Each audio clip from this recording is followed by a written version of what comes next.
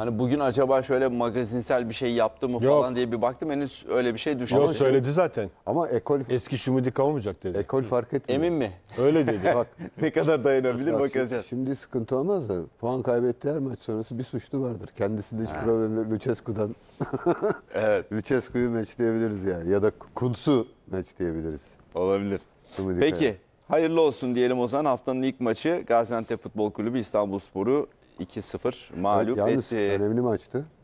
De- dediği gibi Antep diplerde. Evet. de İstanbulspor o bölümde rakip.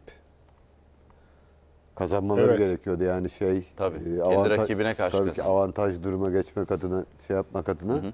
Yani iki takım için de önemli maçtı. Evet.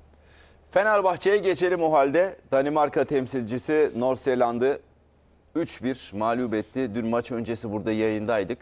Rotasyonlu bir kadro yapacağını öngördük. 7-8 e, rotasyon, 7 rotasyonla çıktı Fenerbahçe ve şunu da gösterdi. E, rotasyonlu kadroda böylesine dişli bir rakibi 3 golle yenebiliyor. Yazınızda da onu vurgulamışsınız. Öyle de iyi, böyle de iyi değil mi? Başlık aşağı yukarı öyleydi. Şey e, dediğim gibi İsmail Hoca'yı bir kere e, hakikaten pamuklara sarmamız lazım. 11'de 11 onu da Yani vurgulayalım. 11'de 11'den ziyade e, Onur her maçı doğru oynadı. Her rakibe saygı duyuyor. Rakibin neler yapabileceğine bakıyor. İşte Samsun'muş, ne bileyim Zedan'mış, e, başka takımmış hiç, hiç fark etmeden. Önce e, suyun akarını kesiyor o, o noktada. Nasıl yapıyor? Önde baskı, önde baskı. Mesela bu takımla önde baskı yaptı. Şey takımıyla, Antalya takımıyla yapamazdı. Yani Zeko'lu, Tadiç'ti. O temposu düşüktü. Yani eee, bir ön tarafta, bu, bu, bu kadar şey olan bir ön tarafta eee, bu baskıyı yapamazdı. Ama işte Kent enerjik bir oyuncu, genç. Batu Şua'yı işte ta geçen seneden beri o presi yapan oyuncu. Joshua King tempolu bir oyuncu. İşte arkalarında Fred tempolu, tempolu bir oyuncu. İşte Crespo, Mert Hakan, Mert Hakan da bir oyuncu. Yani eee, o öndeki baskıyı eee, mesela Antalya 11 ile yapması çok kolay değildi. Ama bu 11 ile eee, kaliteden yerine mücadele yoluyla eee, sonuca gitmeyi seçti ve başardı. Çünkü neden? Rakibin oyun tarzı buna uygundu. Pasla çıkıyorlar. Eee, kesinlikle uzun oynamıyorlar. Do- dolayısıyla önde baskıda top kaybedip eee, pozisyon vermeye uygun bir takım. Senin takımında bunu eee, bilen oyunculardan kurulu ki geçen sene Jesus da böyle oynattı bu takımı. 56'ya 44 galiba maç bittiğinde top şey lehine, rakip takım lehine. 52'ye 48. Ee, topun oyunda kalma oranı. Ben bir ara baktım 56-44 sonra İrfan Canlar falan girdi.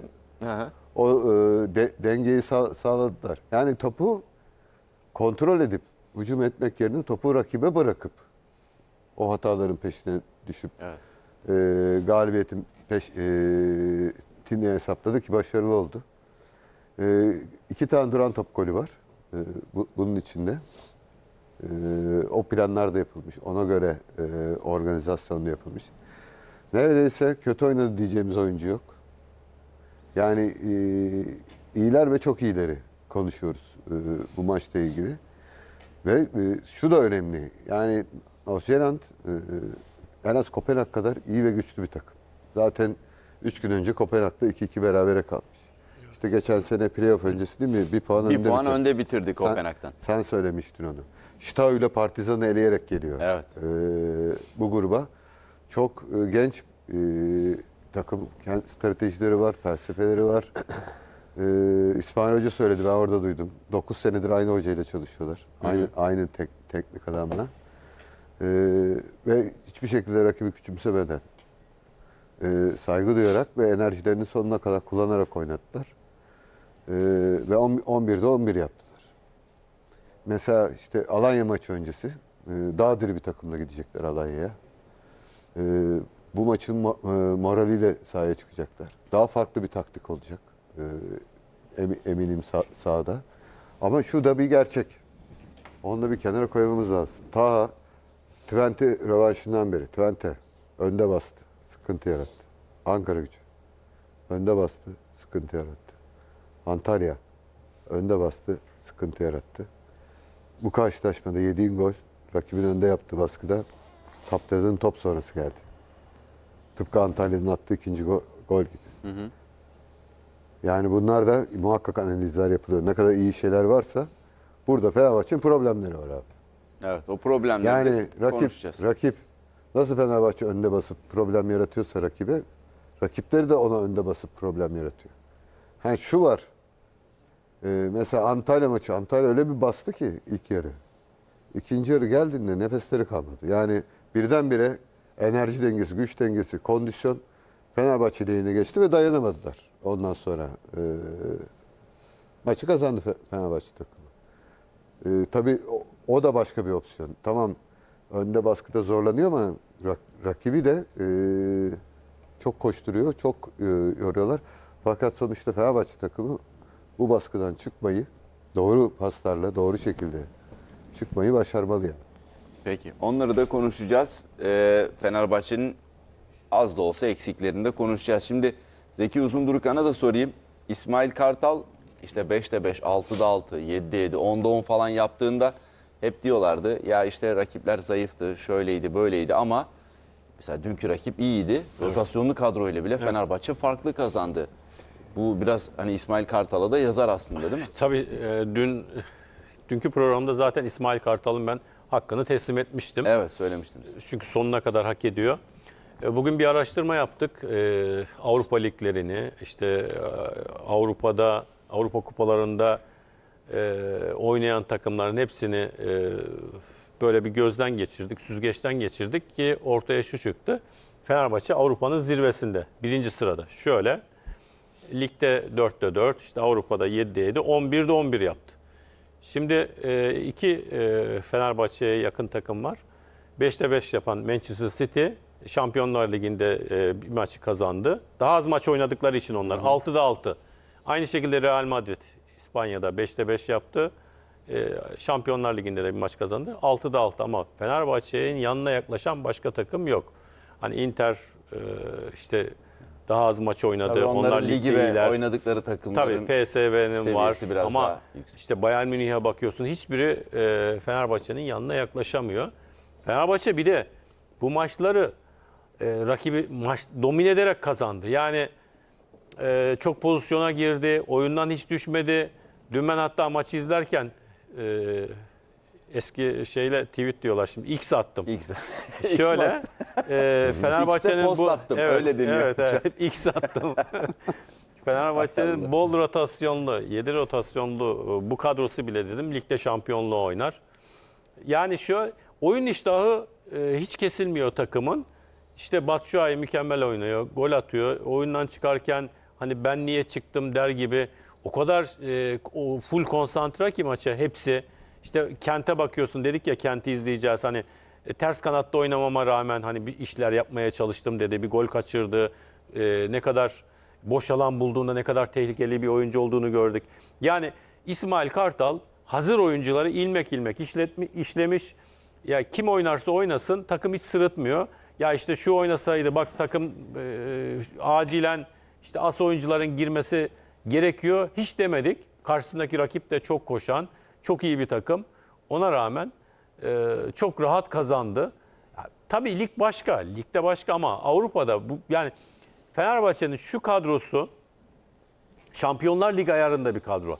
Şampiyonlar Ligi'nde oynaması gereken bir kadro normalde. İşte hep diyoruz ya UEFA'nın, e, FIFA'nın bu konuda bu e, konferans ligi, Avrupa Ligi, Şampiyonlar Ligi, işte Şampiyonlar Ligi yeni statüye ge- geçecek. Önümüzdeki yıl işte 36 takımlı bir lig olacak falan. Ee, Hüseyin Özkök de bugün çok güzel anlattı onu A-Spor'da. E, şunu söylemem lazım. Ya Fenerbahçe eğer bu konsantrasyonla giderse hani ligde kazaya uğrayıp da ya biz ligi kaçırmayalım, şampiyon olalım demeden Avrupa'da bu ciddiyette devam ederse geçen yıl West Ham'ın başardığını Fenerbahçe çok iyi e, rahat başarır ve e, önemli oyuncularını çok astronomik ücretlere satarlar. Yani West Ham'da birkaç tane oyuncu rekor ücretle gitti mesela diğer takımlara. Fenerbahçe e, şimdi şunu diyoruz. İşte 4 milyon 750 bin euro kazanmış şu ana kadar Fenerbahçe konferans liginden. Dünkü galibiyetle birlikte. Ama şampiyon olduğunu, final oynadığını düşünürsen senin kadrondaki oyuncuların market değeri artıyor.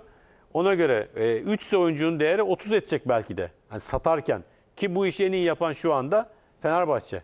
Satış konusunda, al, alma konusunda da en iyisini yaptı bu sene. Satış konusunda da ya kulübün işlerliği açısından, sürdürülebilirliği açısından e, oyuncu satmak da çok önemli. Oyuncuları sattılar. Yerine iyi oyuncular aldılar. Daha da güçlendiler. E, Her şey mükemmel gidiyor Fenerbahçe'de. Bir de şu dikkatimi çekti Gürcan abi. Jesus varken her maçtan sonra iyi sonuçta da kötü sonuçta da Başkan Ali Koç bir değerlendirme yapardı maçtan sonra. Hemen mikrofon uzatırlardı falan. Hiç görünmüyor ortada. Tamamen en güzeli. Bu sene yok. En güzeli. Takım iyi gidiyor, motivasyonu bozmuyor, hocanın motivasyonunu bozmuyor. Hocaya güveniyorlar. Yönetim sağ dışında zaten gerekeni yapar. İşte oyuncuların transfer taksitleri, yeni transferler vesaireler. Her şey mükemmel gidiyor Fenerbahçe'de. Yani e, bu gidiş hani sanki Fenerbahçe'nin o özlediği şampiyonluğu yakalayacak bir gidiş. Lig için ayrı, Avrupa için de ayrı. Peki- Yani Avrupa için de ben belki de konferans ligi şampiyonluğu lig şampiyonluğundan daha kolay olacak Fenerbahçe için. Yeter ki bu ciddiyetle e, devam etsinler yollarına. Çünkü Fenerbahçe'nin asıl potas- potansiyelli kadrosu ki onlar daha da ivme kazanacak. Fred mesela müthiş oynuyor ya Fred. Şaşırdım yani. Fred'i o izlerken Dün doyamıyorsun. asist, evet. Asistinin dışında da Tabii akıl oyun koyuyor oyuna. çok. Ben dediğim gibi yani e, şimdi Aston Villa'ya bakıyorsun mesela dün. Hani e, o da ciddi rakiplerden biriydi. Fenerbahçe'nin yanına yaklaşamaz ya. Zaniolo biz alırız kupayı dedi ama güzel bir yerde alır. bıraktın. O zaman e, Serdar Sarıdağ'a da sorayım. Fenerbahçe konferans ligde zaten hep iddia- iddialı bir şekilde şampiyonluk yarışında var. Ama konferans ligini alır mı Fenerbahçe? Dün o e, şeydeki o, Avrupa'daki oyununu ben hiç böyle bir oyun beklemiyordum. Ya bir Türk takımından uzun zamandır böyle bir oyun görmüyordum Avrupa'da.